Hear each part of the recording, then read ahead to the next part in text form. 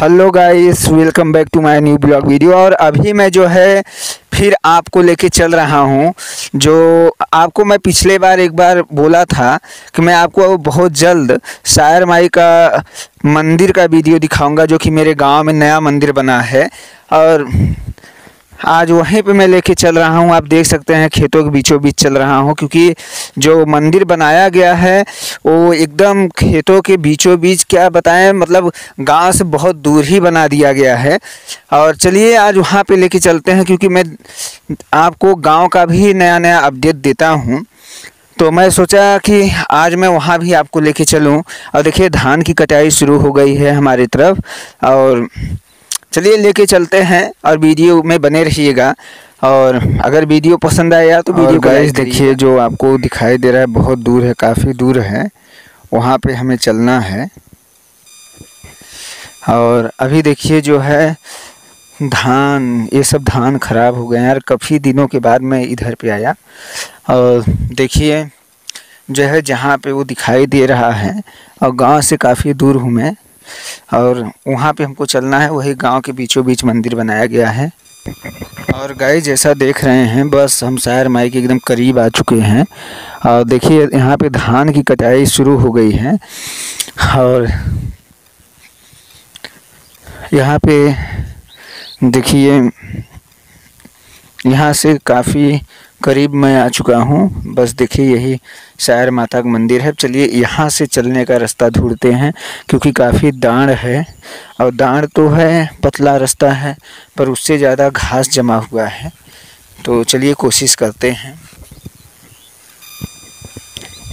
और देखिए गई सब ये रास्ता मिला है। अब इस रास्ते से हम चलेंगे वहाँ पे। यहाँ पे देखेंगे तो सब गाँव की औरतें हमारे धान काट रही हैं। और ये सब धान भी काटने लायक हो गया है।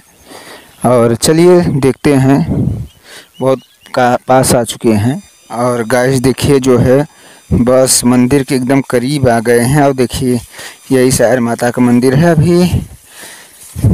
देखिए कितना दूर हम पूरा वीडियो नहीं ले पाए, क्योंकि पूरा वीडियो लेते तो काफ़ी लंबा हो जाता। इसलिए जो है रुक रुक के फिर भी काफ़ी घूम के आना पड़ा है हमको। और नीचे देख सकते हैं कैसा रास्ता है। मतलब नीचे का ज़मीन तो दिखाई ही नहीं दे रहा है। और फिर भी जो है, चलिए आ चुके हैं यहाँ तक एकदम पास में। और देखिए ये मंदिर पहुँच गए हम लोग। गाइस देखिए, ये जो है मंदिर के एकदम पास आ गए हैं, यही माता का मंदिर है। और देखिए, यहाँ पे जैसे पूरी हलवा, ये सब बनाते हैं तो यहाँ पे चूल्हा उल्हा का भी व्यवस्था किया गया है। हमारे गाँव में यह मंदिर नया बनाया गया। और आपको बता दें गाइस कि यह मंदिर जो है, अनिल कुमार के माध्यम से बनवाया गया है, जो कि वो आर्मी में है इस वक्त, और हमारे देश की सेवा में लगे हैं। और ये शायर माता मंदिर है, देख सकते हैं, जैसा चारों बगल देखेंगे तो सब खेत ही खेत है। मतलब आने जाने की कहीं भी रास्ता नहीं है, कहीं भी नहीं, गाँव के एकदम बीचों बीच और खेतों के बीचों बीच में यह मंदिर बनाया गया है। और सामने देखिए हमन कुंड है, और अब चलिए अंदर लेके चलते हैं आपको। जय माता जी और देखिए यहाँ लिखा भी है शायर माता, देखिए ये सामने ऊपर बोर्ड है, देख सकते हैं।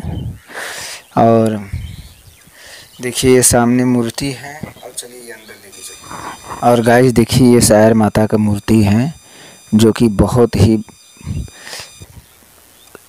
अति सुंदर यानी एक तरह से विशाल तो नहीं कहे, पर भव्य मूर्ति ज़रूर लग रहा है, ऐसा लग रहा है साक्षात माता विराजमान है, और ये गाँव की देवी हैं शायर माता और देख सकते हैं यानी छोटा मंदिर ज़रूर है और पर कितना सुंदर नज़ारा यहाँ का। गाइस जैसा कि आप लोगों को शायर माता का मंदिर दिखाया और कितना छोटा मूर्ति ज़रूर है पर साक्षात ऐसा लग रहा है कि जैसे माता वहाँ विराजमान हैं और गाँव के बीचों बीच यह मंदिर बनवाया गया है।